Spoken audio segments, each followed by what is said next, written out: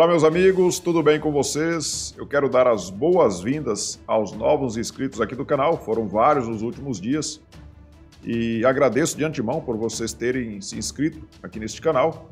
E peço a você que não se inscreveu ainda que você clique no botão inscrever-se, se inscreva agora mesmo e ao final do vídeo, se você gostar, você deixe o seu like. Hoje nós vamos falar sobre a hipocrisia da grande mídia. A imprensa brasileira não se cansa de passar vergonha.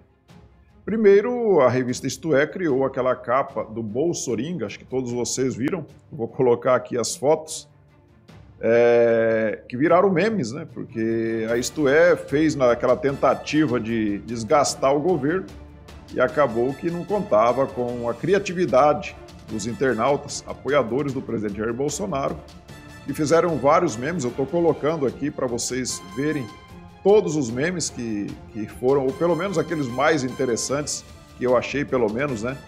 Na minha opinião, foram os mais interessantes. E, e, foram vários, vocês estão vendo aí, foram vários memes muito criativos que os internautas fizeram. E a Isto É não aprendeu com aquela lição e ela fez agora, ela criou agora a figura do Bolsolenda. E aí vocês verem, vejam aí a capa que a Isto É fez e olha aí os novos memes que os apoiadores do presidente Jair Bolsonaro também fizeram com essa capa da Isto É. Você vê aí que tem muita criatividade por trás de tudo isso daí. Os nossos, os nossos amigos internautas, apoiadores do presidente Jair Bolsonaro, são muito criativos. Você vê o Bolsolenda aí até com o corpo do Che Guevara. Isso vai deixar a esquerdalha maluca, né? A esquerdalha que é fã do Che Guevara, quando vê um, um meme como esse, ele fica muito puto. E a, e a grande mídia, ela faz de tudo, ela faz de tudo para tentar, tentar minar o presidente, né? A figura do presidente da, da República. Faz de tudo para desgastar a figura do presidente. E todas as vezes que a grande mídia traz uma nova notícia, geralmente uma notícia mentirosa, uma fake news, contra o presidente Jair Bolsonaro, na tentativa de desgastá-lo, é, o tiro sai pela culatra. E aí acontecem esses memes criativos que, que os internautas acabam fazendo. Mas agora nós vamos falar de um outro assunto, vamos falar de uma divulgação que o presidente da República fez dos repasses que foram feitos aos estados é, de dinheiro que foi repassado né, para tratamento do combate ao vírus chinês e foi repassado ali bilhões aos estados e o presidente divulgou, divulgou então nas suas redes sociais uma lista ali do valor que cada estado recebeu e o valor é muito alto mesmo, né? E o presidente então sugere ali que se procure saber do seu governador, você que, que cobra muito é, uma posição do presidente da República, que você procure saber do seu governador o que ele fez com esses bilhões que o seu estado recebeu.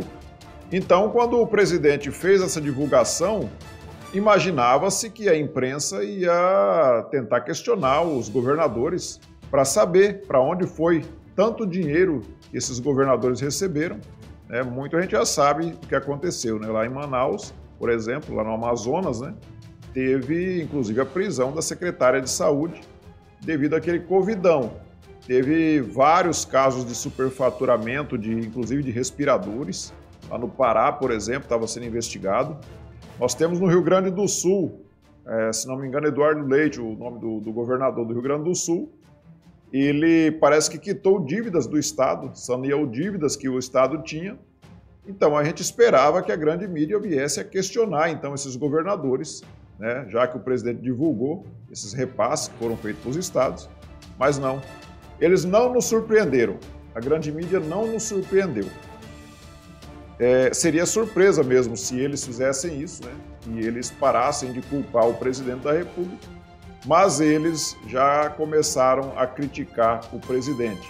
Inclusive, teve, teve uma nota aí, uma carta que governadores fizeram, né? vários governadores, parece que 20 governadores assinaram essa carta é, repudiando as declarações do presidente Jair Bolsonaro E esses governadores, ao invés de virem a público explicar, cada um deles explicar o que eles fizeram com esse dinheiro que eles receberam, eles, sabendo que a grande mídia ia dar apoio a eles, né, ia divulgar a sua indignação contra o presidente e dando respaldo, inclusive, a essa indignação, eles então preferiram fazer essa carta de repúdio ao presidente Jair Bolsonaro. Então, tudo que o presidente faz ou deixa de fazer, tudo recebe crítica e tudo é culpa do presidente.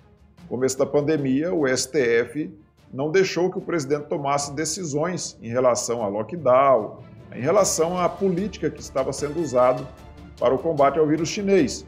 E o STF então passou essa responsabilidade para os governadores e prefeitos. E agora, e restou inclusive, restou inclusive ao presidente é, transferir os, o dinheiro que ia ser gasto com isso. Tanto é que grande parte dos governadores terminaram o ano de 2020 com o caixa do seu estado mais folgado do que estava antes da pandemia, porque eles receberam tanto dinheiro e não gastaram esse dinheiro com, no combate ao vírus chinês, e eles acabaram tendo ali uma folga no seu caixa. Enquanto isso, os cofres da União estão cada vez mais sendo quebrados e por isso mesmo eles não querem que essa pandemia termine e que venham novas ondas desse vírus, né? Que é para eles não pararem de receber dinheiro do governo federal, porque o objetivo principal deles é realmente quebrar os cofres do governo federal para que no ano que vem, na, nas eleições, eles possam dizer que o governo quebrou o país e que eles então serão a solução para o país.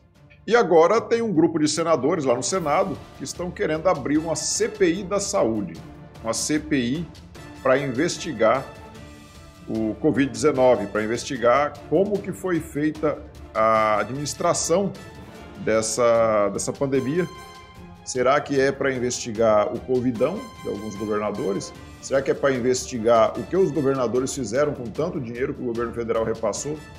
Não. Eles querem procurar uma forma de responsabilizar o presidente por essas mortes causadas pelo vírus chinês.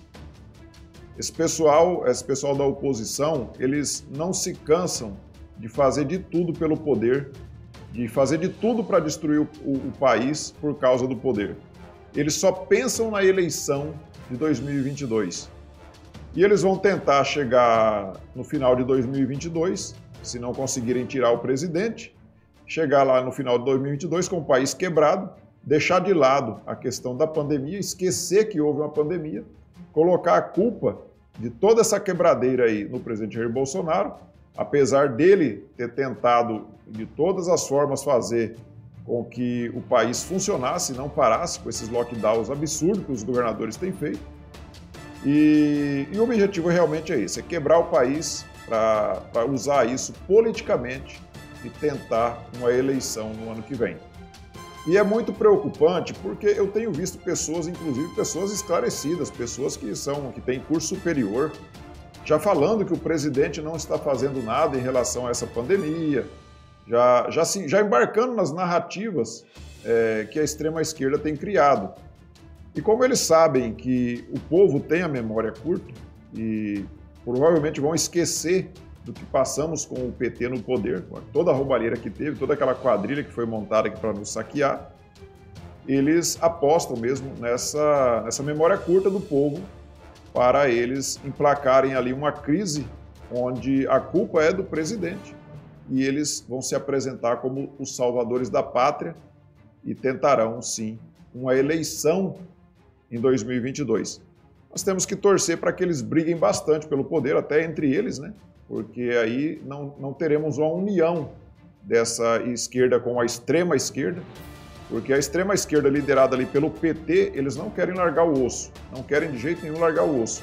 E tem uma, uma parte da própria extrema esquerda, que é liderada ali pelo Boulos, o, é o PSOL, que também acha que eles têm cacife para chegar ao poder. E o Boulos acha, inclusive, que ele pode ser presidente da República.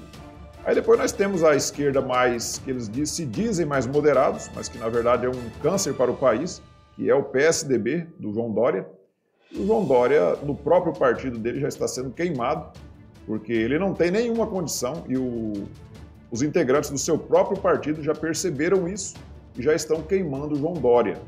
Então, ainda bem que está tendo essa briga é, pelo poder tão desvairada que eles não conseguem se entender nem entre eles.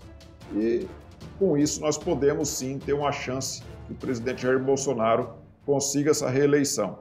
Porque se essa gente pegar o nosso país do jeito que está caminhando aí, com essa crise, se esse pessoal da esquerda pegar o país, aí nós podemos esquecer de vez o que, que é democracia, o que, que é liberdade e o que, que é um país digno para que a gente possa viver.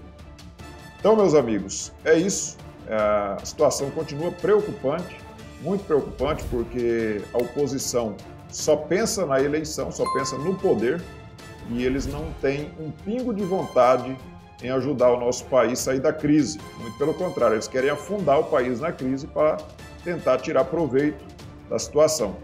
E nós temos que estar sempre ali vigilantes e lutando para que isso não aconteça e que nós consigamos, então, reeleger o presidente Jair Bolsonaro em 2022. Ok, meus amigos? Então, vocês tenham um dia abençoado por Deus e nós nos vemos no próximo vídeo. Tchau!